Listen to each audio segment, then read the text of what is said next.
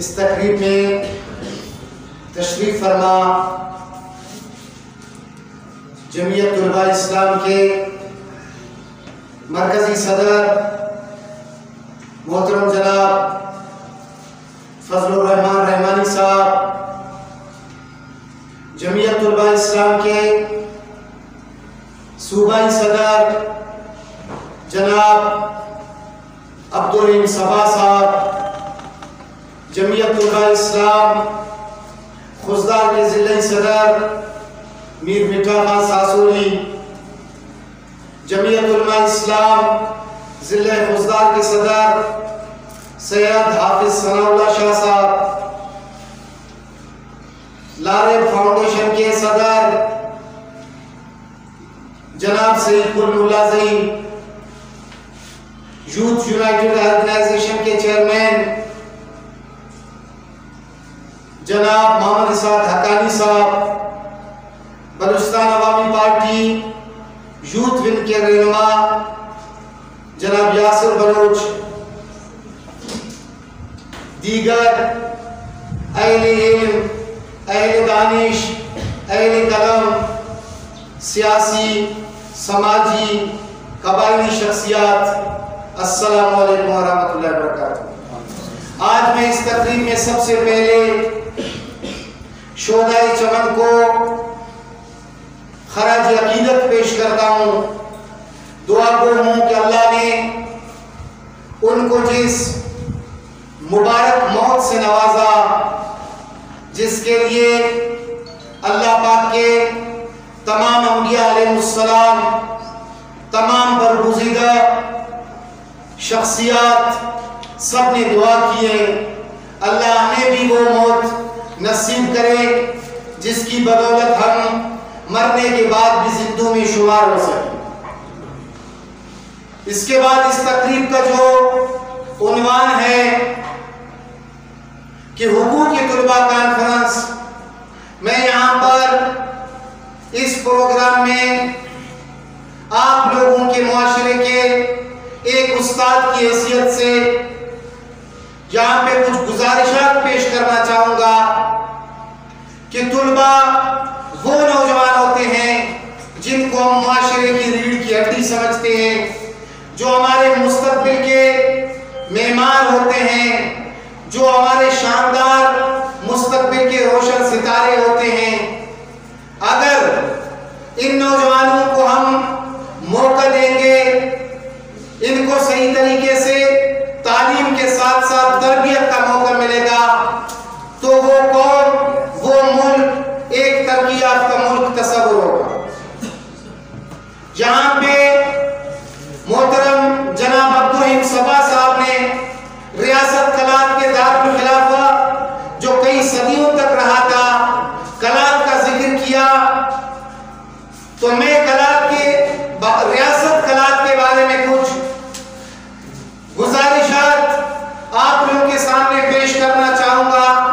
कि हमारे यहाँ जिस तरह हम कह रहे हैं, सरदार सरदार, इसी तरह शख्सियत परस्ती में मीर और पीर भी बराबर के शामिल है।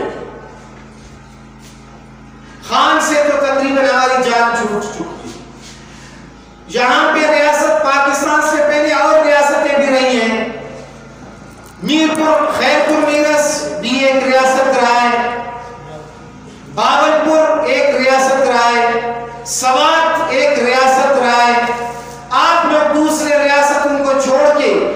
इन तीन रियासतों में भी जाके देख ले आप लोगों को बखूबी अंदाज़ा होगा कि पाकिस्तान बनने से पहले उन रियासतों के जो हुक्मरान थे उन्होंने अपने अवाम उन्नास के लिए क्या किया था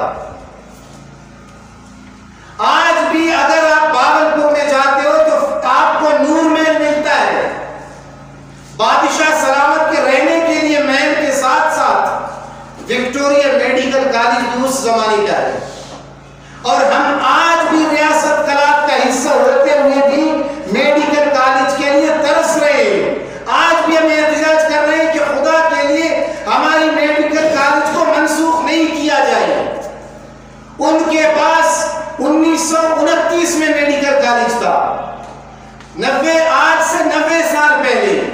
हुक्मरान वो थे उनके पास सादिक पब्लिक स्कूल जो आप उनके पास क्रेडिट कॉलेज मस्तूम बियासी खुशदार जो गुजशत बीस बाईस तीस साल उनके उनके पास 1920 में ये कायम थे वो इनके लिए दुनिया के कोने कोने से उस्ताद लाकर अपने कौम को तालीम दे रहे थे और उन्होंने 1919 में पहला पब्लिक लाइब्रेरी सादिक तो उसमें भागलपुर में सादिक पंजुम जो उनका हुक्मरान था उसने कायम किया और हमारे पास लाइब्रेरी को अभी तक दो साल हो गए हैं पता नहीं अभी तक मेरे ख्याल में लाइब्रेरी किसी लाइब्रेरियन के पास नहीं लाइब्रेरी के डिपार्टमेंट के पास नहीं बल्कि असिस्टेंट कमिश्नर और चार लेडीज़ वालों के हाथों में नहीं जानते हैं कि ये लाइब्रेरी के उमूर को इंतज़ाम को चलाने वाले कौन होते हैं?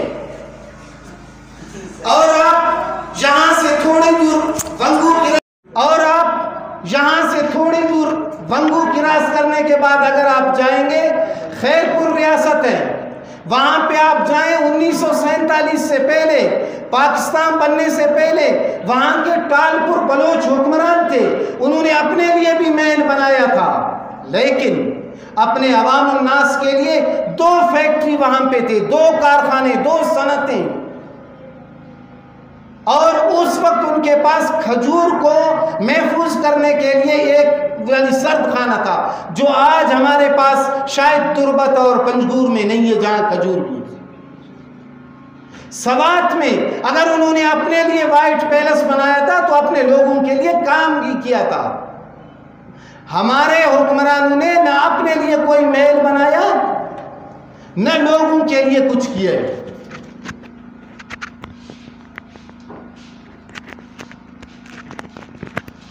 बदकिस्मती से, हमें पाकिस्तान से पहले भी ऐसे हुक्मरान मिले जो अपने लिए भी कुछ नहीं कर सके थे।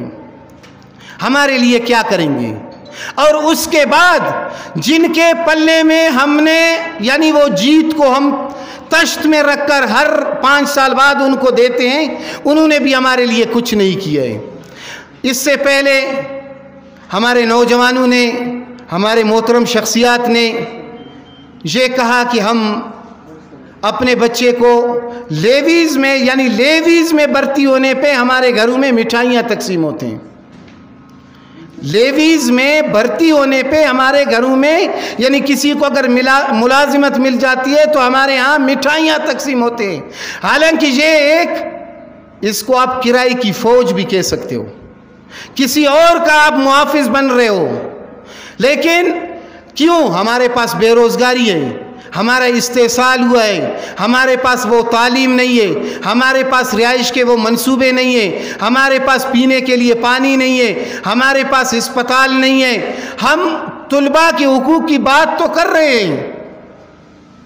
यकीन करें, अस्पताल में, खुशदार में जो आप लोगों का सर्जिकल वार्ड है, मेल इसमें अगर आप एक डॉक्टर को रात को सुलाएँ, सुबह अगर वो मरीज़ नहीं बना तो जिस तरह मेरे दोस्त ने कहा कि मेरे लिए वो जो घोड़ा चौक को पे मुझे लटकाएँ तो इसी तरह मेरे ख्याल में वहाँ पे आप सेहतमंद इंसान को भी ले जाएँ।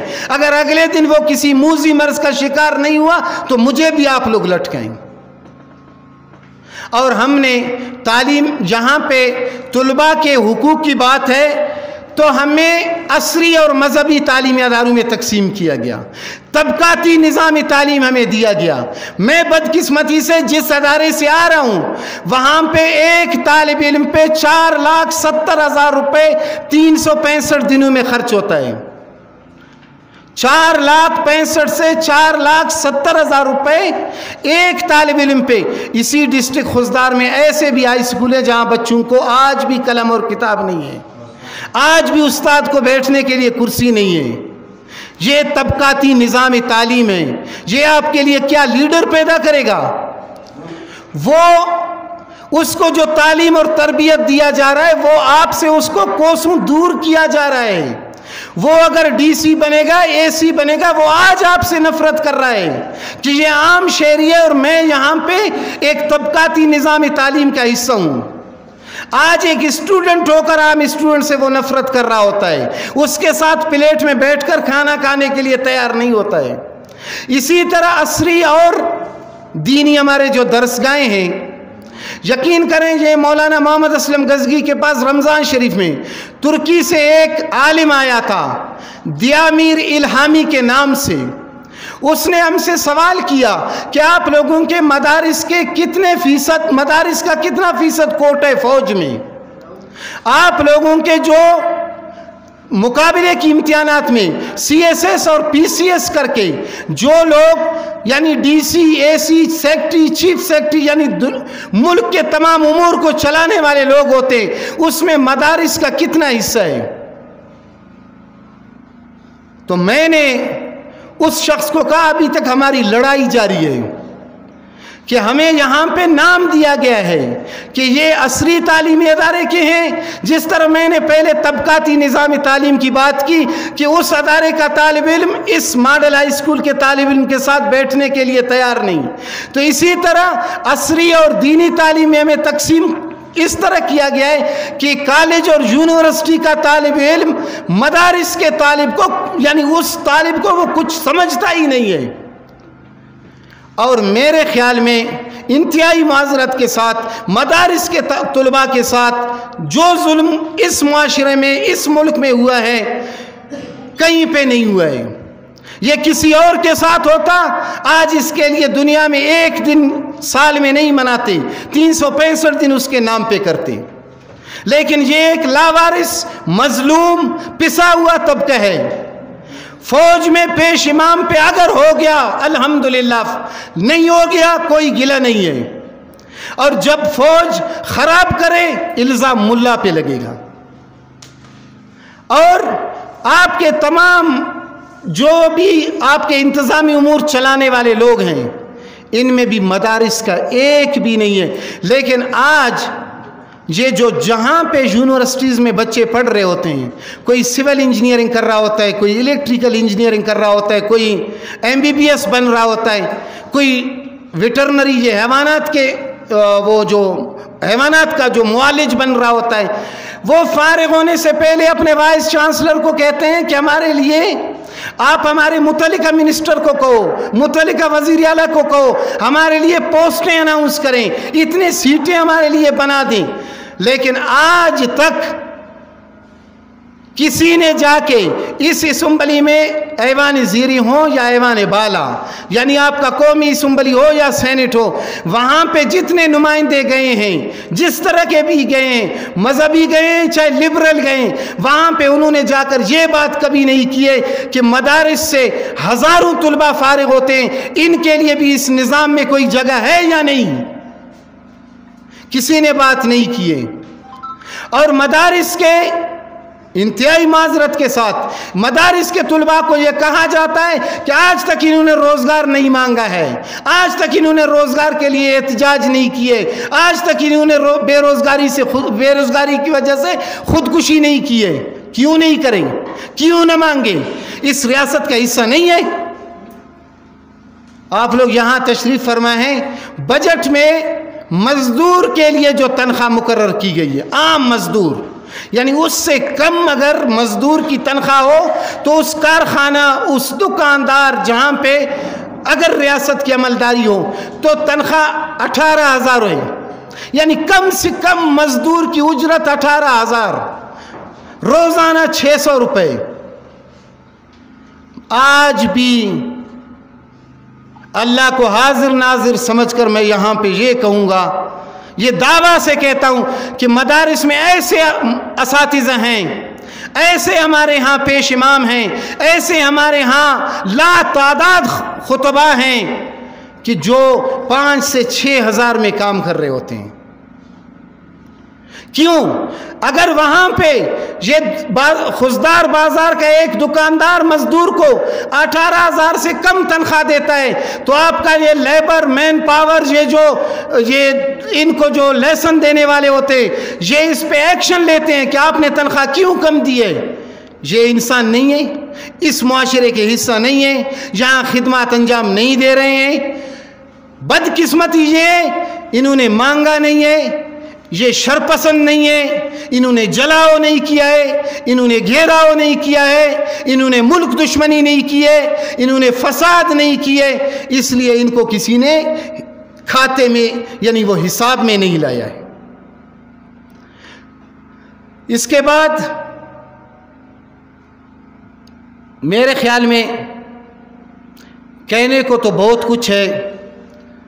जमीयतुलबा इस्लाम के में सूबाई मरकज़ी और ज़िले अहदेदारान को मैं मुबारकबाद पेश करना चाहूँगा कि इस इस तरह के प्रोग्राम कि जहाँ पे आप नौजवान को बिठाकर ये तफ, मुल्ला और मिस्टर में तफरीक का खात्मा करने की बेहतरीन और मुनज़म कोशिश हो, जैसे यहाँ पे मोहतरम जनाब फजलरहमान रहमानी साहब, ये जमीयत तलबा इस्लाम के मरकज़ी अमीर हैं। सूबाई अमीर हैं। और हज़रत?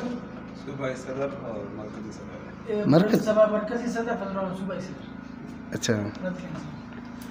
ये नाम में थोड़ा सा मुझसे तो अभी यहाँ पे आप लोगों के पास तशरीफ़ फरमाए इस स्टेज से साबित हो रहा है कि हमें मुल्ला और मिस्टर का खात्मा करना चाहिए।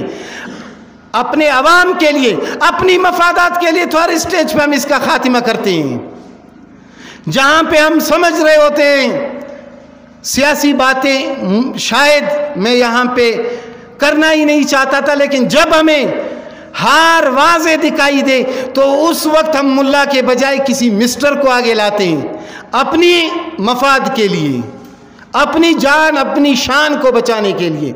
लेकिन बात यह है, जब तलबा के हकूक़ की बात हो, जब तालीमी अदारों की बात हो तो इसके लिए मैं दस बस्ता तमाम नौजवानों से ये गुजारिश करूँगा कि तबकाती निज़ाम तालीम और मुल्ला और मिस्टर में फ़र्क, तबकाती निज़ाम तालीम तो हुकूमत ने बनाए इसको हम ख़त्म नहीं कर सकते। लेकिन हम आपस में एक दूसरे से नफ़रत तो ख़त्म कर सकते हैं। हम आपस में मोहब्बत तो कर सकते हैं। तो इसी के साथ मैं आप लोगों से इजाज़त चाहूँगा। शुक्रिया वसलम मज़ीद ख़बरों के लिए हमारे यूट्यूब चैनल प्यारा खुजार न्यूज़ को ज़रूर सब्सक्राइब करें और हमारे फेसबुक पेज प्यारा खुजार न्यूज़ को ज़रूर लाइक करें शेयर और कमेंट करें और प्यारा खुजार न्यूज़ से कांटेक्ट के लिए इस नंबर पर रबता करें। हमारे साथ जुड़े रहें आपका अपना न्यूज़, प्यारा खुजार न्यूज़।